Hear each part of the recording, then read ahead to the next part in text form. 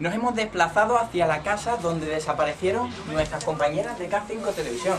Al parecer un brote de rabia ha podido infectarla. Estamos dentro de la casa, como ven, está en ruinas. La policía ha abierto una investigación para eh, aclarecer las causas de los hechos. ¿Ana? ¿No? ¿Está bien, Ana? ¿Ana?